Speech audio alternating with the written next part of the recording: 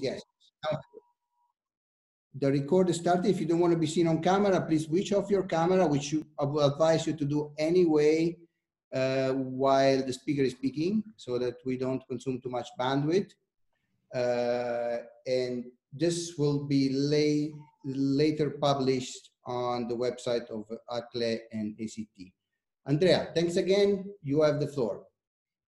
Thank you, Alessio. Thank you, Maria, for organizing this seminar. It's a, it's a big pleasure and a honor. Uh, of course, I've been, uh, uh, I've known Alessio and we've uh, shared our friendship for many years. Uh, I know uh, some of the people that are connected. I've had the, the chance to work with them or to teach them in the past. So big hugs to everybody. Hope you had um, um, a, a, smooth period of lockdown or non-lockdown, depending on where you are, where you're based. Um, and um, what I uh, what I want to do um, today is to sort of take take stock a little bit with some of you on the things that we have learned um, over the past uh, uh, two decades of uh, evolution of digital technologies. I will do this in a very very sketchy way though, uh, because we don't have a lot of time and what those lessons learned tell us about uh, one of the big challenges that the EU has today, that of uh, trying to um, approach the future strategy for data,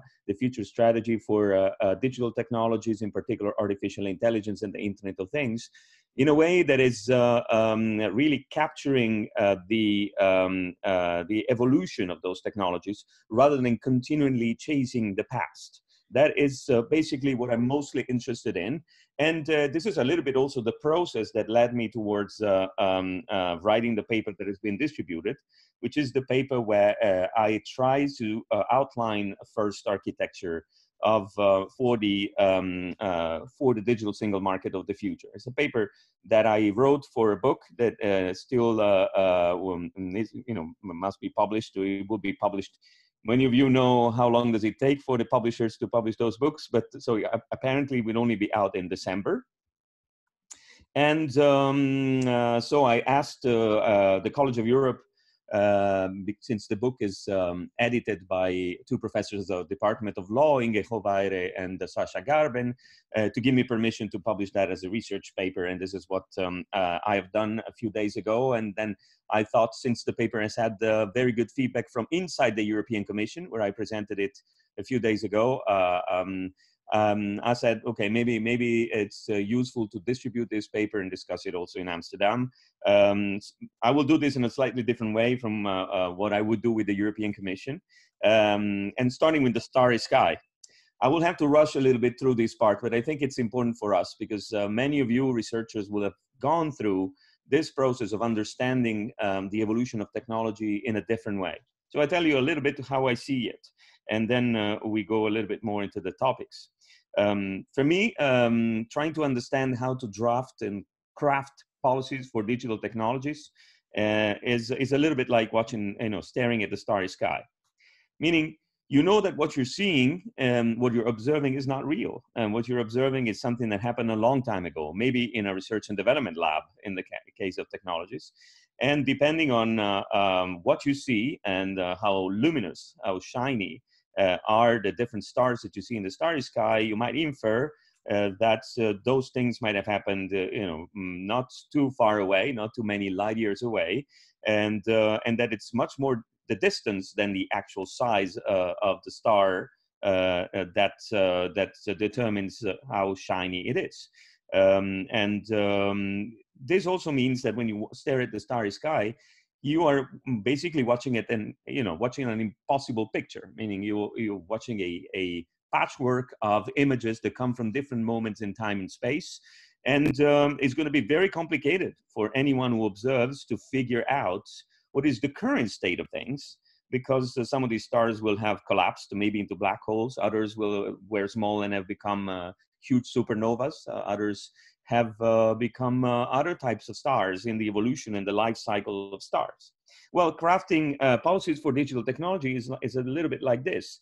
Uh, if you observe what's on the market right now, you probably are observing the research and development that has taken place uh, 10, 10 years ago, eight years ago, six years ago, uh, but you don't know where this technology is leading. So if you're a policymaker or a social scientist wishing to contribute to um, the shaping of policy in this field, uh, you actually have to exercise a lot more foresight. You have to uh, push your imagination a little bit beyond to, to uh, grasp uh, with, the, with the help of those that have domain knowledge where uh, technology might be going now, so and where it will land uh, in a few years from now. If you are a European social scientist working on EU issues, that is even more complicated because we know how long does it take to imagine, draft, and implement a policy uh, at the EU level, and rightly so. It's a very complicated uh, multi-level governance framework, and um, since we know that, um, we have to imagine a little bit even further in the future if we want to craft uh, uh, useful policies. Now, the um, the the current um, in, say feeling and mood in Brussels that I can report here is that uh, the the European Commission in particular, but EU institutions more generally, have been chasing the past until now, meaning that our policies in uh, uh, for the digital single market in particular have been reactive rather than proactive, and that have been maybe evidence based but not foresight based. And, uh, and that is a problem because it really um, affects the, the regulatory and policy style that we use.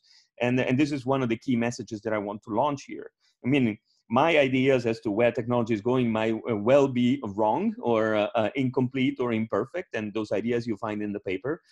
But it is important anyway. I do believe that the uh, attitude of looking at foresight is, uh, is the right one. And um, in this, I'm also reassured by, by the fact that uh, for the first time, the von der Leyen Commission um, has brought together um, the portfolios of better regulation without a foresight in the hands of Vice President Maros Sefcovic. And because I, I there's a, the intention of bringing in foresight much more into the, the policymaking um, uh, domain. And this is also very important for people like us. We do economic analysis of law. We mix together many social sciences. Foresight has become has to become one of our muscles in the future, much more than what we have exercised until now. So in terms of what has happened so far, I will go very quickly through this. So if you want me to go back in the, in the questions and answers, I will I will do it. And it's something that I've developed uh, uh, in a still unpublished paper, maybe to be published later this year for the OECD, that asked me what are the regulatory challenges of the digital transformation. And so I went back to why we are facing challenges today and what are the really sort of almost immutable uh, features of digital technology and in particular of the of the internet ecosystem that have determined uh, um, the disruptive effect on uh, regulatory uh, practice of of um, of the emerging uh, uh, market phenomena and non-market phenomena as well. To me, the real foundations. And, and of course, we can discuss that. Are um, the the ever evolving and increasing computing capacity, what sometimes is framed as Moore law, Moore's law, some people say it's over, is slowing down. Um, I don't spend time here. Uh, I do believe that this is not the case. I think we are still uh, witnessing an exponential increase in computing capacity today.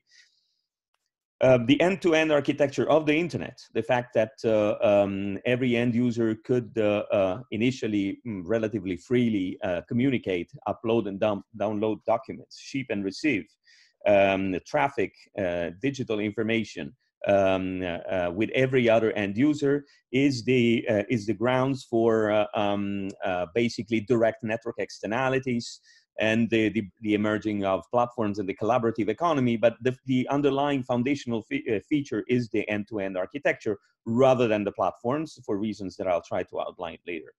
The modularity the fact that you have a layered ecosystem and you have system goods that uh, in order to, to really be used, uh, have to, uh, you know, the users have to put together uh, different functionalities and different technologies uh, and applications produced by different, uh, most cases, by different companies, also in what we call open architectures is another feature of the internet since the very beginning. Also thanks to its open standards.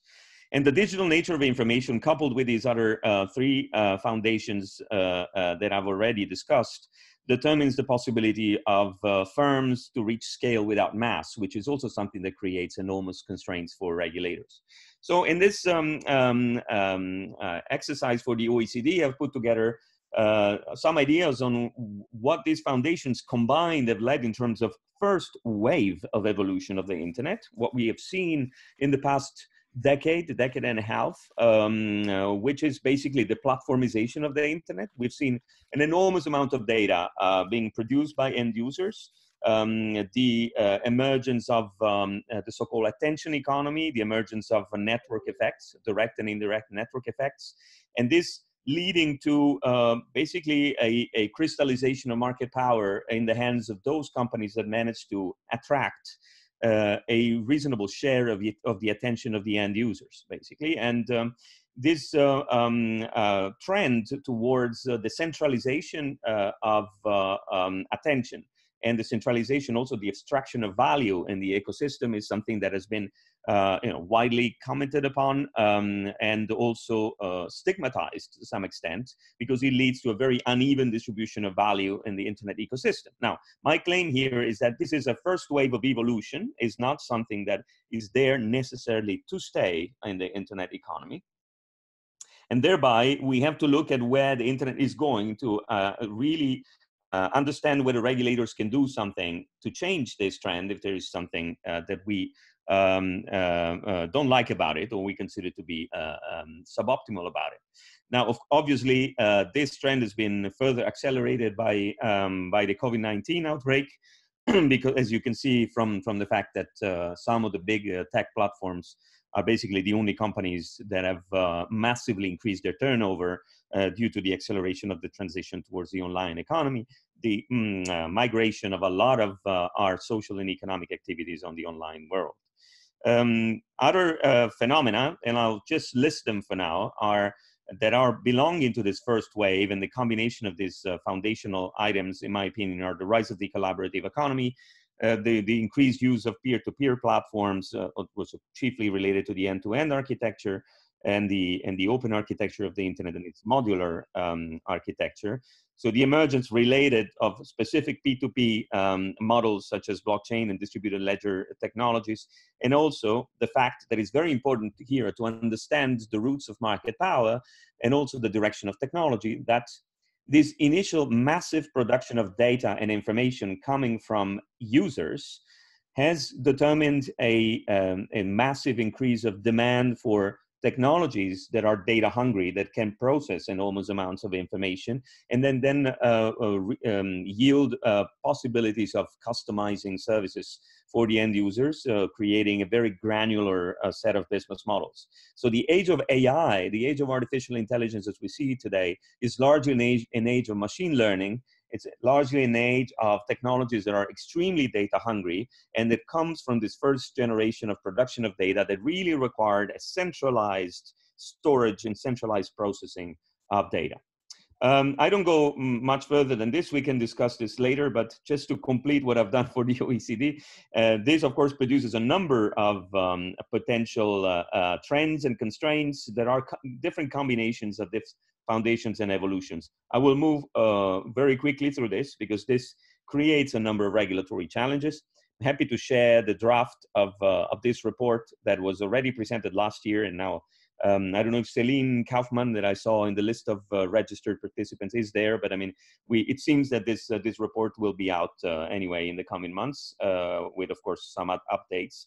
Uh, what I really put in the in the paper that I've distributed as highlights of this uh, combination of foundations, evolution, and regulatory challenges are three main trends, and one is the virtualization of functions, uh, um, be this uh, um, network hardware functions that become virtual, or the transition into a cloud-based world, or if you think uh, tr trends such as um, 3D printing, you know, uh, basically the conversion of the free movements of, of uh, goods into largely uh, flows of data that then are converted into products at the local level. Um, the servitization, um, the fact that uh, the digital nature of information and the, uh, um, the possibility of accessing virtually um, products and service uh, products as a service. Think about the cloud. But if you study, for example, agriculture today, you discover that you can use a tractor or a drone as a service, by what we call sometimes Uberization of society.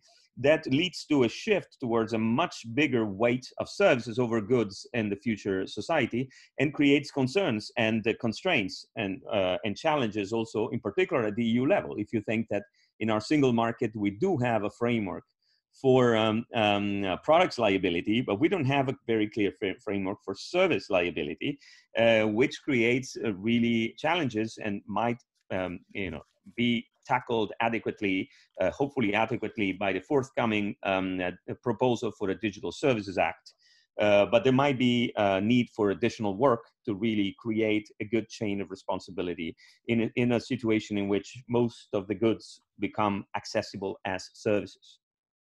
And then, as I said before, the platformization, which is uh, a very strange situation for people like us, and maybe we are the only ones that really understand this, right? The law and economics community, we've studied uh, Williamson, we've studied Ronald Coase, um, and we studied the market versus the firm, the hierarchies versus uh, the market transactions. Platforms, in my opinion, don't fit easily in any of those baskets, meaning they are not really firms in the sense that some of the key functions of the firm are actually externalized in platforms. Uh, for example, uh, the control of the behavior of employees uh, is typically outsourced to end users. Uh, think about Uber. And, uh, but also they, uh, um, some of the key functions such as the hierarchy and the, and the labor relations are externalized, meaning that you have companies like Uber that move a very big economy um, they uh, bring around people they uh, deliver today much more than uh, uh um, uh, uh, riding sort of much more than, than driving they're riding these days. Um, but they have something like 20000 employees and shrinking um, but they have for example 4 million drivers which means we are talking about a, a, a governance form that really shrinks to the minimum possible the functions of the firm and uh, uh, transforms hierarchical relations into market contracts thereby uh, depriving the market the, the sorry the, the employees in particular but also the end users in many respects of the guarantees that they have in the typical interplay between markets and hierarchies. So um, the platformization is having disruptive impacts on, on our regulation. Now I want to move to a second part of this because this, um, uh, to, putting this together, what I've said so far, meaning the starry sky, plus what we've seen so far in terms of regulatory challenges, um, requires a change in attitude because what we've seen so far is a situation in which we have been chasing technology by looking at what came to the market and then trying to react to it, right? It's just like the, in the famous paradox of motion of Zeno, an ancient Greek philosopher, Achilles trying to reach the tortoise um, by jumping on where the tortoise is, uh, but assuming that the tortoise will have made um, you know, some uh, a few steps by the time Achilles gets there, Achilles will not capture the tortoise, and so he will need to jump again in, uh, at T2 into place A3. But the tortoise will already be at A4 by then. So Zeno, already in ancient times, um, um, already had reached a conclusion, which is of course a, a theoretical conclusion, that Achilles will never reach the tortoise. Now, in a situation like the one in which we are today, we are in a situation in which the law is the tortoise and has actually the, uh, the challenge of trying to chase Achilles, which is faster. And this, by definition, is something that is self defeating uh, from the very beginning. I can give you uh, an example of uh, how I got it wrong, for example. It's a, it's a very good example. I, I get it wrong very often. I'll try to be very quick on this, but I, I like writing fiction stories uh, and uh, sometimes also with a, a, high technological component, also to try and use narrative uh, to anticipate what might happen in the future. It's a sort of an individual foresight exercise, if you wish. And a couple of years ago, I started writing a story of a guy named Ben that um, discovers, unfortunately, one day that he only has uh, six months left to live at most, um, is terminally ill and he's contacted by a company that offers uh, to Ben uh, that uh, you know a, a full-fledged free data collection exercise. Meaning we will collect everything that you've written or said everything that you have left on the social media um, or and we might interview you maybe on your political opinions or maybe on your preferences on what you would like to do in the future. We'll interview your relatives and we'll interview your friends so that when you die, we create um, a um, an avatar um, with, that will look exactly like you, but it will age also. uh, just like Alessio and I have been aging together. Uh, uh, but although uh, you can see this with me much more than with Alessio, but uh, I mean, you can have an idea of how people normally age. Um, and, um, and you would say, uh, you know, that this company will then start managing what we call a grief bot. Hmm? Meaning, someone who has the exact appearance of Ben, but ages over time if the relatives will want that, and, and is able to give advice and is able to have opinions or is able even to recommend, I don't know, new products, why would you have recommendations in new products um, from Google or Google's homepage if you can have Google or another company manage Ben and have your father or your husband uh, uh, or your uncle give you those recommendations? So we are ushering an era, that's what I thought, in which there is such a dense layer of information and, and, the, and the power of artificial intelligence is such that we will not be able entirely to recognize the difference between um, someone who's alive and someone who's dead. And I thought I was very smart when I was writing this story, and um, and I said, okay, that's something that I want to present, maybe also to the policymakers, because it really leads in, leads us into the world of extended reality. And uh, then I realized that uh, Black Mirror was preparing an episode on this uh, called "Be Right Back," And then I also realized that um, uh, at the death of a famous uh, Russian influencer, Roman Mazurenko, his girlfriend had created already not the image of Mazurenko aging, but at least a chatbot that to some extent should represent uh, Mazurenko's, um, um, let's say, beliefs and preferences and attitudes. Um, then I saw something else earlier this year, which is um, um, uh, an excruciating documentary, uh, a South Korean documentary of a mother celebrating the seventh anniversary of her daughter in virtual reality, despite the fact that her daughter had passed away three years before. And um, and a situation like this is a situation. I mean, if you if you are if you get emotional very easily, don't watch it um, because I mean I watched it only uh, for say for professional reasons but it's not it's not a nice scene to see the mother really being extremely confused by what she sees because it is actually almost real. Now the technique used to do this is called mm, well the deep fakes in the in the normal uh, technique but the underlying ai technique is the generative adversarial networks. And uh, it's the same technique that we use today and that not we but that is being used today by hackers for example to to package deep fakes like this ones. And um, maybe the ones that are participating will, will let me know at the end of the class who they think is the real Putin. We're not going to say this now. The other things that we have discussed is that sometimes what you see happening and coming through technology is not exactly what it seems. Meaning, we've discovered that in many cases, this is the case of the checkout free stores uh, opened by Amazon. Um, those checkout free stores look entirely automated, but Amazon actually is employing dozens and dozens of people and hidden labor in Madagascar to manually observe and correct what the artificial intelligence gets wrong. Um, and finally, we also realize that the more um, things and people produce information, uh, this can create a world in which uh, the information can be granularly used, uh, but at the same time, uh, information can also be used to control people or to score people. So we are in a situation in which we we are about to maybe reconsider this thing that we've been told during the first wave of the internet that data is a new oil that data is a rich treasure that should be leveraged. Um, and indeed we know that data will be overabundant in the years to come. What will be scarce is not data but trust. How do we trust that what we see is um, um, uh, let's say, faithful to reality or real? Um, how do we trust that no one is manipulating us? Maybe through Ben, our father or uncle or, or husband. Um, how do we know that the data envelope surrounding us is uh, something that we can rely on?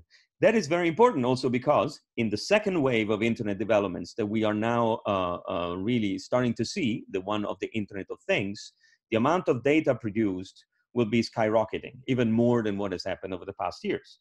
I was uh, discussing with, um, with um, experts from a company called ARM that produces processors, and they gave me a ballpark fi figure of um, 1 trillion connected devices by 2035, whereas we have less than 10 billion connected devices today. Just to give you an idea of uh, what does it mean to live in a world um, in which there are 1 trillion connected devices and they all exchange data between themselves. So what do we need in order to craft the policies of the future?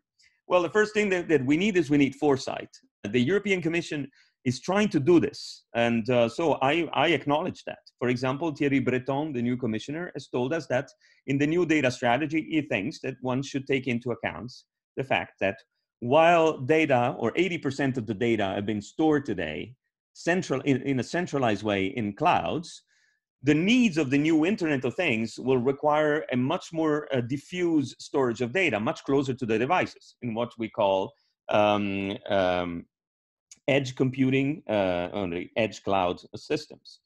So, and this might change, for example, the competitiveness issues, uh, but also the sustainability issues surrounding technology. Because uh, if there is a situation in which the um, um, uh, cloud operators that have been dominating the market now are not anymore the only and the, the most prominent uh, um, uh, storage centers for data, uh, then AI will also become much more distributed, not just in the cloud, but also become will also become embedded AI closer to the devices, and uh, and this might open new possibilities because the EU is actually much better positioned to capture those markets the B2B markets or the markets where industrial policy and more distributed architectures uh, require a storage of computing power closer to the device compared to the big centripetal powers that have uh, led four or five cloud operators to dominate the world.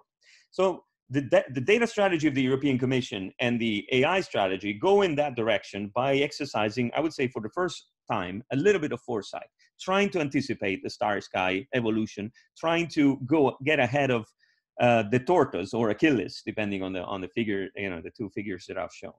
So in the second data wave, uh, very quickly, what we have, uh, uh I mean, what we're discussing, uh, me myself as a member of the high-level expert group on AI of the Commission, but what I hear discussing also inside the European Commission is that the EU can actually lead the world on restoring trust in artificial intelligence for the reasons I was outlining before. Um, the EU might try to rebalance competition uh, uh, in the B2C markets, the, the parts that I've described as platformization. The Commission could also compete in the development of AI and related technologies for sustainable development, mostly through B2B and so-called embedded AI. And there's also another rising, very important part, which is uh, the role of government as really a trust enhancer in those uh, in those new ecosystems. So that is a little bit the map of what the European Commission wants to do in terms of regulation in the in the years to come. Very quickly, this requires not only foresight-based regulation, but also principles-based regulation. One example of principles is the work of the high-level expert group on AI that has developed these four principles of how AI and related technologies, uh, you know, should behave and and should, uh, the types of principles that they should uh, respect. Um, those principles have been um, uh, elaborated and, and broken down into seven requirements for AI. And uh, I'm currently leading the revision of the ethical guidelines for AI um, in the high level expert group that will operationalize those principles. Um, regulation also becomes outcomes based, although it's not clear today that the sustainable development goals are really the North Star for policymaking um, as they were supposed to be only a year ago. Um, but in principle, uh, we are treating technology as a means to an end rather than an, a, an, an end in and of itself. That is extremely important. If you think that um, the European Commission, for example, has set uh, the goal uh, of the high level expert group on AI at the very beginning of the mandate as to strengthen EU's competitiveness in artificial intelligence. Now, for me, if I ask myself the question, how can the EU become more competitive in AI? I might want to create a huge market, for example, for robotics in factories. But if I ask myself, how can AI help me achieve Sustainable Development Goal 8, that of uh, uh, securing decent work and economic growth, in particular the sub goal on full and decent employment for everyone, then the answer I give myself in terms of policy is completely different. So it's important that we keep the outcomes in mind. The other thing that is emerging, for like with many technologies, is that this framework has to be risk-based meaning not all uh, digital technologies applications uh, create the same risk. And uh, we need to make sure that there is an agile governance mechanism for the classification of risks and for the um, determination of what is a proportionate mitigation strategy whenever a digital technology raises a specific risk. That is the basis for the future liability requirements in the AI and Internet of Things age. And we are starting to put together some of these um, initial, um, you know, uh, uh, pillars uh, in the work of the high-level expert group on AI and in the forthcoming regulatory uh, initiative on AI that the European Commission has now, has now postponed to first quarter of 2021. And the other thing is, if one wants to really treat digital technologies in this way and create a digital single market in which standards are high, uh, then of course this has to come with a degree of international cooperation because otherwise, or or protectionism.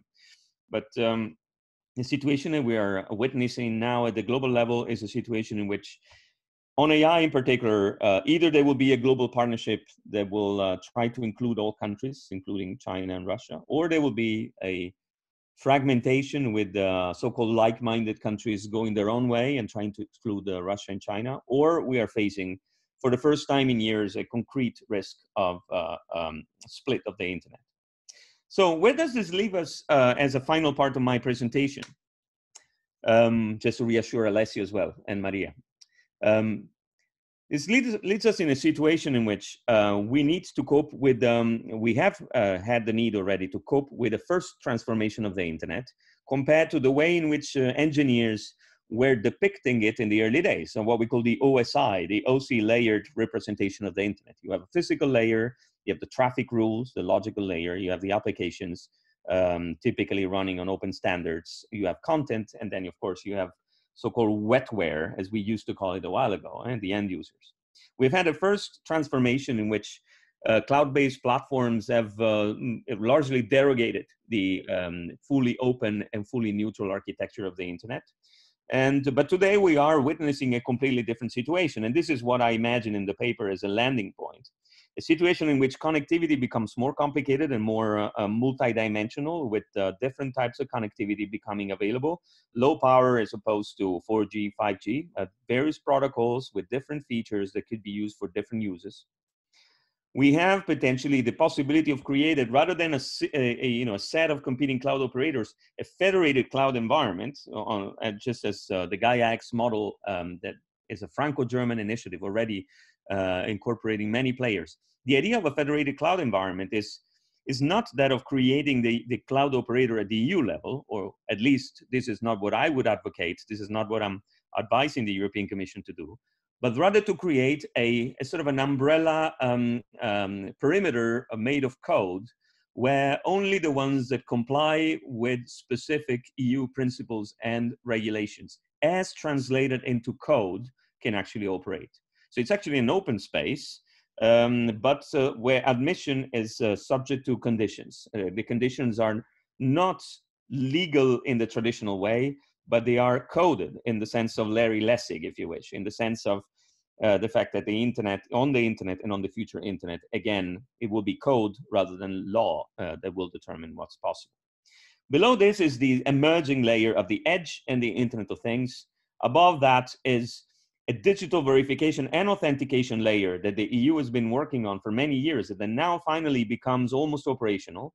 They could become the basis for a lot of the freedoms in the single market, from the freedom of uh, movement of persons to the one of goods and services, and, uh, and the free transactions across the single market. There will have to be a, an additional legal and semantic interoperability layer, which is something that the European Commission has been working on, where the equivalence and the translation into code of legal provisions is, is provided. And then there's the data strategy of the Commission, where uh, that is currently being shaped as such. Uh, there's a, a, a, departure from the idea that data, when they are created, they, they freely flow, but there's rather an organization of data in a way that puts the data to, to the best possible use, uh, ideally, uh, through um, a skills data space, a, a Green Deal related data space, but most importantly, a data space that enables interoperability and uh, uh between administration and open governance strategies. On top of this, I imagine in the future, four main pillars uh, where the internet sort of um, uh, look the internet ecosystem, the digital ecosystem uh, looks slightly different in terms of governance. The sectoral data spaces, uh, the, the data strategy of the commission announces many of them. An open internet which functions um, let's say as the internet has worked since the very beginning so the, the, the really the best effort open internet that is now joined by um, digital ledger technologies that uh, operate on uh, largely on the internet protocol and there will be uh, the traditional digital platforms, uh, the cloud-based one that of course will survive mostly in business to consumers market. And there will also be uh, space increasingly on top of the administration data space for what I call open API, open government strategies that uh, uh, will enable uh, the, you know, the, the, digital single market to flourish also in terms of relationship between governments and citizens. Of course, end users are there, artificial intelligence is not a sector or a layer here. It's, it's really um, uh, entering uh, all these layers. And the same is for uh, attempts to enhance uh, control of the users of a personal data through a variety of potential proposals. There is only two there uh, mentioned, but there are, there are more. And uh, in a situation in which we have to build this complex environment uh, and we have to rely on code for many of the things that we do, uh, but we also have to make sure that uh, end users keep the control over their data. And uh, that is perhaps the single most uh, daunting challenge in the creation of the digital single market. Um, basically, um, just to sum up, I want to go back to the starry sky, but just quote one of the sentences that mostly struck me when I when I studied at school when I was a, when I was a kid and studied philosophy for the first time basically, in order to re really be good policymakers, we need to do what Kant imagined, Immanuel Kant imagined in the Critique of Practical Reason as the things that really uh, inspired him and um, um, filled the mind with ever new and increasing admiration and awe. The starry heavens above us and, and the moral law inside of us. So the principles that we need to embed in the technology and the ability to exercise foresight by looking in, in, a, in an intelligent way at the starry sky. Because above all, the two things that distinguish human beings from machines and digital technologies will, in my opinion, continue to remain always the same two. The ability to um, distinguish reality from its representation. Machines require a representation of reality. Uh, and of course, the ability of developing our own understanding of the starry sky and uh, uh, and our ability to uh, also develop emotions when we stare at the starry sky. So I'll stop there, and um, uh, I'll see whether uh, you fainted or you have questions, and maybe I'll stop sharing my screen, but uh, I'll still happy to get back to, um, to to the slides in case there is someone who wants me to go back to some of the slides. Thanks a lot. Thanks very much, Andrea, for this enlightening uh, presentation. Uh, I'm sure this, this is going to prompt uh, a number of questions. We, we, we have uh, some 40 people in the room. And without further ado, I would like to encourage all participants to, to ask questions. Uh, do ask from the chat so we can give you the floor. And the moment, uh, that's easier for, for, for Maria and for, and for me, uh, if you just line, line up in the chat we'll give you the floor and then you can be on camera and ask your question. Because we are really many people and, you know, I will stay as much as possible asking questions because I, I, I also had uh, many. Uh, let's try to be effective and to the point so that uh, we can uh, use uh, Andrea's time in the best possible way. Okay, are there any questions? people are shy in the beginning. Someone needs to break the ice. Yeah. Uh, well, I guess that should be me then. uh, so I, I, I, was very, uh, very, I'm very thankful and uh, and certainly agree with your um, uh, idea about foresight in a way as one. So you know the whole idea of uh, uh law lags te uh, behind technology is uh, very much a social construct that we have accepted in the recent decades and not necessarily something that has been always the case or necessarily has to be the case so um, now how far do you go in, uh, in that regard uh, you know so it's some so you still do accept a lot of what is happening out there um, as part of what you know what needs to happen. And then you know the, the foresight really kind of is yeah well, you know, I, I, could imagine there being even more foresight. So, uh, in the sense that much of the technology that is being developed could also be developed much more on the outcome basis. You know, so we have a mission to to do sustainable growth. That means that we do not produce technologies uh, that uh, will likely detract from those, but instead actually direct all our resources to producing technology that will contribute. So I think that the foresight can go much further. And uh, why do you remain so uh, uh, so moderate? Thank you, Maria. No, I, I think I, I, yeah, I've been pretty pretty humble in terms of uh, bringing in foresight because I know that it is a bit complicated for uh, for a policymaker to digest and I totally agree with you. I mean, I'm all for uh, embedding outcomes, and for me, the Sustainable Development Goals are the more. Uh, I mean, it could be improved, of course, but they are the most complete set of uh, outcomes and balanced set of outcomes that we have today. The, the European Commission is working, although a little bit um, uh, silently, on possible ways to reorient the better regulation agenda towards uh, the Sustainable Development Goals.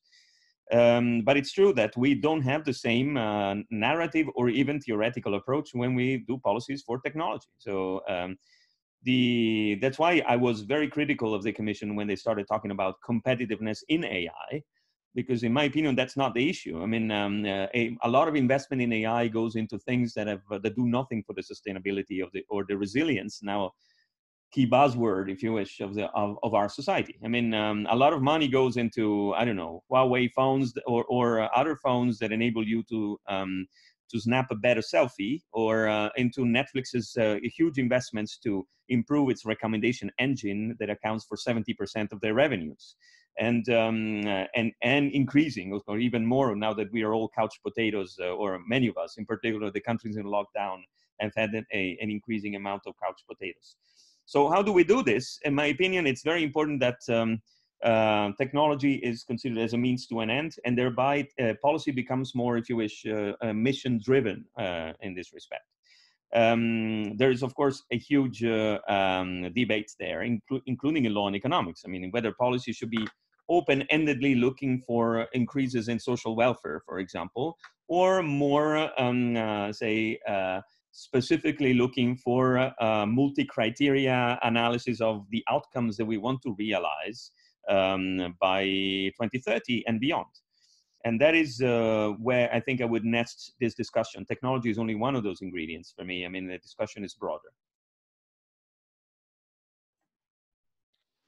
Uh, thank you. Uh, we have uh, we have uh, uh, Hans uh, Klok and Joris as well uh, in uh, in the line and Joris. So Joris first. Joris, please come forward. Welcome. Hi Joris, how are you? good, good. How are you, Andrea? Good to see you uh, in an online context. So thank you, thank you for giving that paper. And and um, I I have a I have a question that it's basically trying to maybe be a little bit taking a little bit like a perspective where democracy is really central, democracy in its relation to technology, and uh, maybe less uh, centered on uh, the technology and, and, the innovations around technology. So, and I, I do think your paper lays that that out very well, and and and I think it also lays it out in a way that that that I imagine fits pretty well with how the Commission is, is looking at this. But I think over time, and especially the last decade, we have seen, you know, the digital transformation in certain areas really leading to what what I would call a, a, a challenge to democratic governance. Mm-hmm. And we see that in the social media sphere, of course, quite clearly with debates about disinformation. But but I would say you could also see it in other areas of you know platform ordering in our society where you you mentioned you know the uberization and, and other forms where you know i think there are many ways they're just very clever uh, and rather aggressive forms of regulatory arbitrage that are um, taking place. And and there's still significant pushback some of these developments are not accepted you know in our societies. You know it's it's it's not clear that the uber kind of is a driving kind of the driver part of the uber of Uber is really the transport part is really going to survive in the way that they would like it to, no? And uh, so I, I see that you know like maybe even more than you know like we have the internet and the internet caused so much transformation and now you know like we have these platforms doing such significant you know reorganization of value chains in different spheres of activity that democratic um, governance over those spheres of social and economic life are are quite uh, uh, fundamentally challenged. And and i have a sense that in politics that is also you know informing the way you know that you know like there are calls for sovereignty and you know there in, in many different areas you see you know it's like hey maybe not the techno regulation kind of thing but we have to reassert you know the democratic kind of imperative and law is a really good instrument uh, to do that so I, I, I just want to ask you if you if you if you recognize that as well this kind of you know like that there is there is in a way uh, a lot of push to to to to reaffirm democratic values over maybe you know particular kind of trajectories of uh, of technology innovation. Thank you. Thank you, Joris. I'll try to be brief. It's a huge uh, potentially topic. Um, but I think you're right. I mean, we see this trend, um, and we see also the fact that a technological means, you know, technology is always, we, we always say, is just uh, as good as the people that use it and, and the use that it's made of it, right? So we see something born in the most democratic possible way, in a, a decentralized architecture with uh, with end-to-end communication, with no possibility to actually even inspect the, the traffic flows. Uh, becoming something that uh, uh, um, you know people describe as an alternative between um, um, the social credit scoring of China and the surveillance capitalism in the U.S. So something that is way more centralized and and and much less open than that, that we we we expected. So my my contribution here is uh, to to reassure that that's not the end, meaning that there is something, but that uh, could be done to restore decentralized architectures, um, and that these might potentially end up becoming more sustainable at once and democratic because it uh, reduces the centralization of information in the hands of, uh, of, of, a fistful of companies.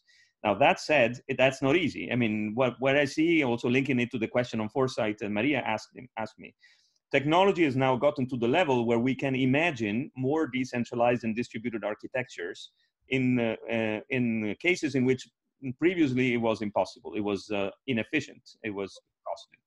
And uh, I think in this case, both starting with the, the organization of the markets and then moving into, in general, the organization of data governance, for example, we have the possibility of imagining cases in which data and, uh, and market power become more fragmented, much more fragmented. And this, all this paper, and I think also the presentation that I, I think the last time I saw you, Joris, we were in the, in the conference that then gave uh, rise to this paper, and maybe a paper of your own, I guess. Um, starts from a reflection that I made a while ago when I was asked about the future of the single market. And I looked at the technology as it was evolved, evolving, and I thought, why do we? Why are we looking for Alstom Siemens? I mean, uh, uh, why are we looking for building European champions? Um, in digital technology, we could easily have uh, interoperable administrations, open uh, platforms and APIs, and the single market would be made of a myriad of small companies that would provide services on the basis of a shared information pool. So that said, um, this leads to a completely different type of market organization. Are we able to do that or not? I think that uh, there are a number of things that need to be that need to be done, um, and uh, depending on the on the um, on the goal that we have, we we have now the possibility of juggling a lot more with governance uh, forms than in the past.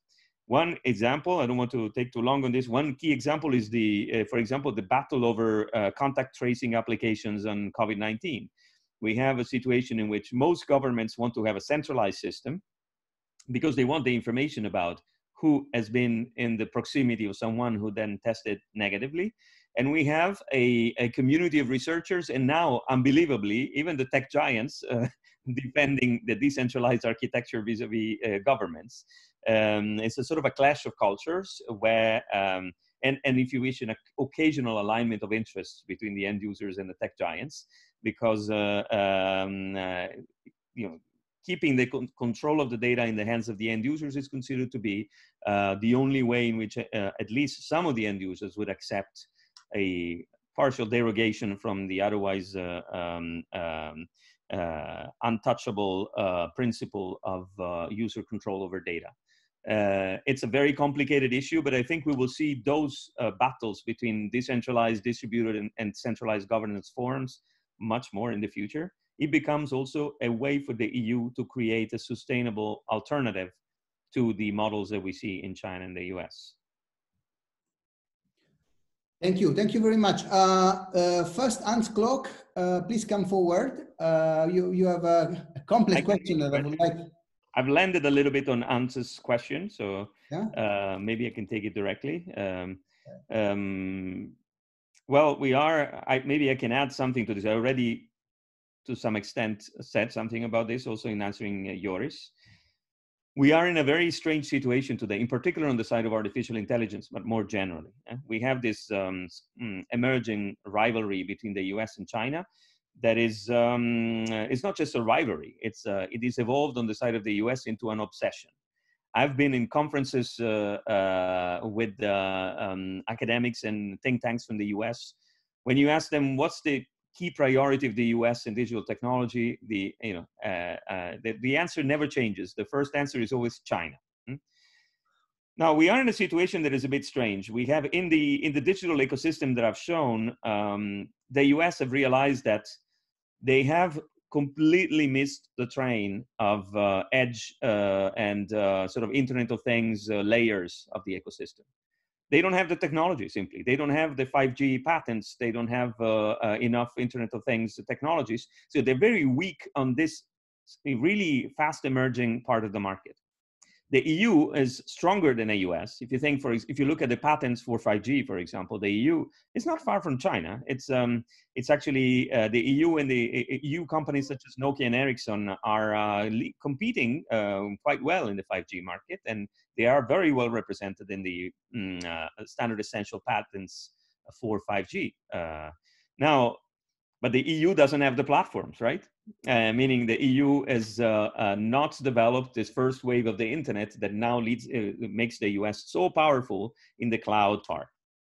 So um, then you look at China, and China is almost self-sufficient, meaning China has almost all the technologies in that stack, which means China can go also everywhere around the world, 130 countries, and offering a full bundle of the digital Silk Road, uh, as being a set of things similar to the technology stack that I was showing before for the single market, Show, um, bringing in the Huawei infrastructure, the other um, uh, you know physical layer, bringing bringing in their own platforms, their own applic application, their own standards, their own code uh, representing uh, basically their own legal rules. So exporting a full ecosystem. Now, this leads the EU and the US in a situation in which they are almost inevitably natural allies. Meaning, um, you might have read on the news a few weeks ago that, they, that in the US there was the intention to invest in Nokia. Um, there is a lot of attention for our players on the infrastructure and uh, Internet of Things space, the Siemens, the SAPs, uh, the Bosch, and the others. And, uh, and this is creating a situation in which you should expect a lot of transatlantic cooperation, despite the differences in the administration, because there is a, a, key, a key alignment of interests between the EU and US as an alternative to the rise of China. So this is how I see the situation, uh, uh, the situation in this field. But um, big, small tech firms, banks, and other governments. I mean, I might tackle this part of the question in 30 seconds. I try, Alessio. Sorry. Um, with uh, with uh, a boutade, if you wish, something a provocation that I've um, uh, launched a, a, while ago that is based on a similar reflection to those on, on, the single market. Every time I go to a conference, every time I go to a conference and there is someone uh, uh, from the European Commission, and and it's about digital technologies, the first sentence is standard by default. Europe does not have any of the top 20 tech giants in the world. Okay, and then if you reflect on the, on the fact that we do have a competition policy that inevitably uh, prioritizes uh, pluralism in the market, let's say more uh, fragmented in the positive sense market structures at any given moment in time, that we have um, a GDPR that contains a data minimization principle and that we have largely demonized, and, and in most cases, rightly so, some of the behaviors of the platforms, then I think if you were really consistent, I would say Europe should start celebrating the fact that it has none of the top 20 tech giants in the world. Because when you have a top tech giant in the world, this is dangerous for democracy, for the polarization of market power, for the future of workers, and for sustainability. So that's I leave it as a provocation again, but uh, um, and move maybe to Joao because uh, I know that we are running out of time. Yeah. Yes, Joao, please come forward. Joao, are you still there? Sorry, uh, listen now? Yes. Hello. Yeah, perfect. Hi. So it's very quick. Uh, I, I, think it, it's even a follower from the last sentence of um, Sad. So Europe does not have this company, but these companies do influence European politics a lot. So in which way it's not so it's not Europe's sovereignty affected by not having these companies? Because in a way, we so the countries are not benefiting from having these big giants, but at the same time, democratic systems are being affected, and we see Cambridge Analytica, etc. So my question goes to the extent to which are is there a need for a treaty revision that does include digital policy as a competence of the EU? So we've seen during the Juncker Commission a lot of the um, initiatives that were literally just uh, beginning to think about sovereignty, but no treaty revision is even being talked about. So how can the EU do this foresight of policy if in these legal treaties does not have responsibility to do so? And even so in an area that's so horizontal to any policy area. Would you say that digital policy will be the driver for further European integration in a way? Or do you see that the EU is still manageable to do these kind of changes without a treaty revision? I do believe that contrary to what happens, for example, in healthcare, um, the uh, the EU has all the competences uh, it needs in order to um, at least approach the issue of technological sovereignty. Um, it might be doing this in a slightly, uh, let's say, unorthodox way, uh, through maybe large public-private partnerships, uh, large missions, as it's doing with its research and innovation policy. Uh, but it mostly will do this in a way that it's already started to started to do um, um, through extraterritorial rules, uh, read GDPR. And it would be extremely interesting to see how the, the Commission will approach the revision of GDPR, which now has to become much more code related than because it's it's a new generation type of uh, of legislation that would need to embed, if you wish, compliance and enforcement already in the in the design. Uh, um, but also the extraterritorial rules are something that is there are that has been considered in the AI space, the future regulatory initiative. Uh, I think that that part uh, will uh, uh, um, be further fo fostered by the data strategy, where you, we have basically the um, very assertive introduction of so-called data spaces, the governance of which is still unknown, but it largely are a way to do two things, which is rebalancing uh, the value generated by uh, uh, digital value chains uh, to bring it back in the hands of the ones that originally generate the value, in particular real economy companies, the automotive companies, the energy companies, and so on, but even the farmers, if you wish. Uh, and at the same time, repatriating data and value, meaning that uh, uh, the data spaces would most likely come with enhanced attention for uh, storing data on the territory of the EU. And, and that is you know, part of the answer to Joao. There's another thing which he said, and that is extremely meaningful, which is when it comes to public opinion, when it comes to content, when it comes to ordering, when it comes to ranking and offering content to the end users there are countless ways in which the current platforms in the B2C services can hyper nudge end users. So they have a big control over the shaping of the public opinion.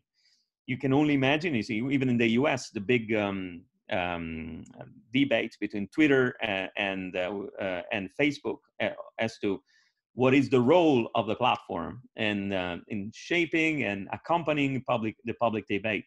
Uh, in Europe, this will take a specific form, which is the revision of the Digital Services Act, uh, and uh, the um, and perhaps something more than that, uh, and the establishment of something that is exactly the opposite of where we started from in the um, in the uh, uh, regulation of or non-regulation of the internet. Meaning the idea that intermediaries should never be responsible for what happens on their servers and pipelines is an idea uh, that is largely outdated today. And we end up with a situation in which, as I was saying before, platforms are a very hybrid form of governance in the market that is not responsible currently for the huge economy uh, the platforms move. Think about Amazon. Uh, they're not really responsible for the, the, the sustainability and the practices of the vendors that go through Amazon, shielded behind the neutrality and the mere conduit provisions in the e-commerce directive. And this will certainly change in the revision of the e-commerce directive and the Digital Services Act in a way that will create a much bigger space of responsibility. And so editorial and responsibility and corporate responsibility for the platforms. And I think this will be a change in the way in which we approach the relationship between the digital, uh, digital economy and the rest of society. All right, uh, so we actually reached the, the, the limit uh, of this seminar, but I propose, as I already agreed with Maria and Andrea, we will stay on for 15 more minutes and whoever wants to ask uh, other questions, welcome to do so. This is extremely exciting. We have two people lined up already in the chat, but now I will abuse my role as one of, as co-chair and ask one of my many questions to, to Andrea. And the, the, the, the, the second most touching thing you said during your presentation was uh, the mention of the fear of the firm and Coase and Williamson, who passed away two weeks ago. Uh, the first one was when you said that we were we are aging together, but this is our, these are related things. Uh, the role of the law is crucial in this, in the in, in, in the tension between market and hierarchies, at least as we knew it, right? So contracts are incomplete, and the law plays a fundamental role in completing them.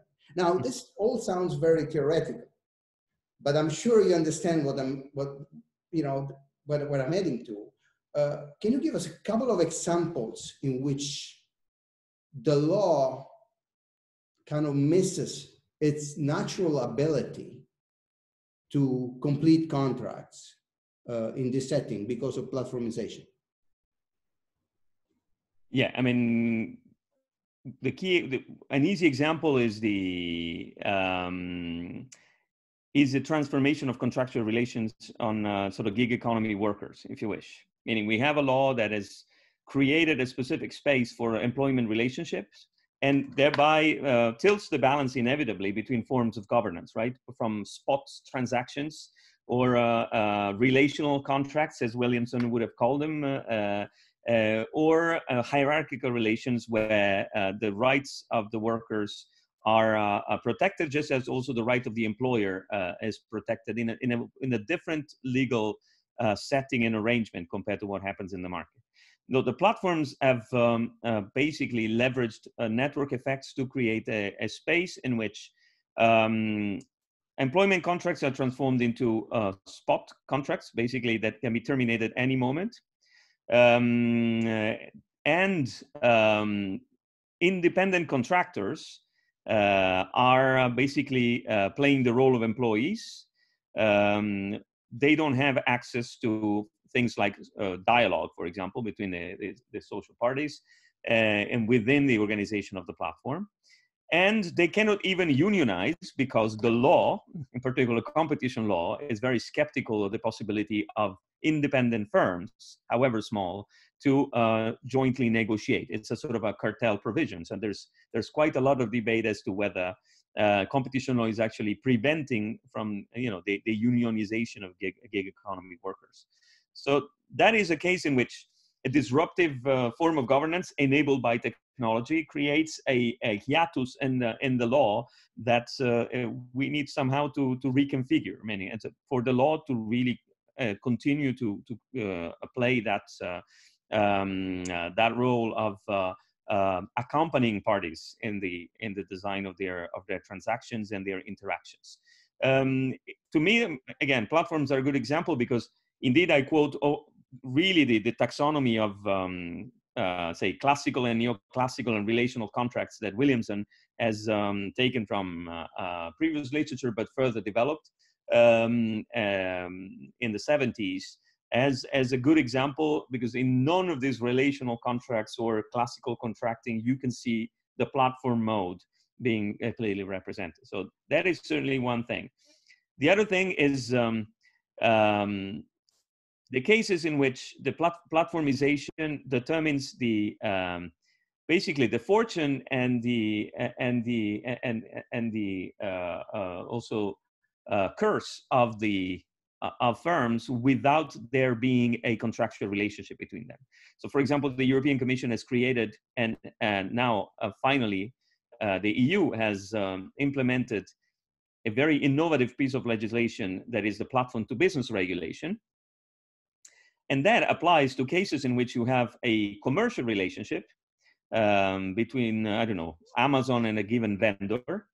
But the problem is, how do you make, should you make this applicable also to, uh, I don't know, a search engine that without having any contractual relationship shapes reality on the internet in a way that um, offers specific products over others?